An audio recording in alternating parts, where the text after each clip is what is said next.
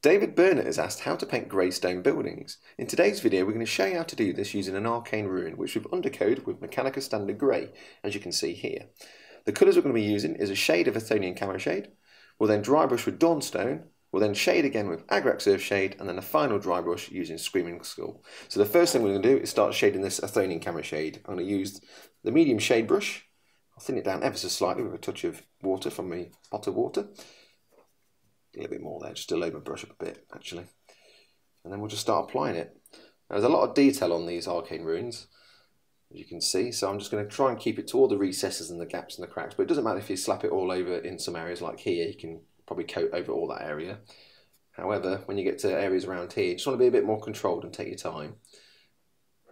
Go down the cracks like here, and just apply into some of these crevices, like so.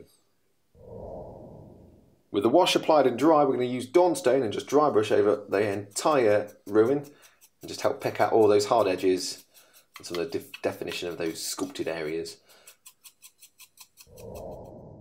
With the dry brush now done, I'm just going to use Agrax Earth Shade just to pick out some select areas to give a suggestion of weathering. And for this I'll use a medium shade brush.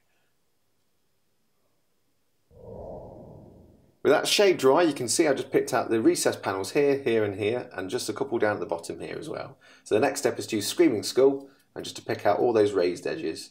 This is softer than the first dry brush, as we don't want to coat it too much, we just want to pick out just some of the key highlights. And with that, the grey building is done. You could alternatively swap out some of these shades for different greens or browns just to give you different effects, but that's that choice is up to you. So I hope you found this useful, Dave. Keep sending those requests and we'll see you again soon. Bye bye.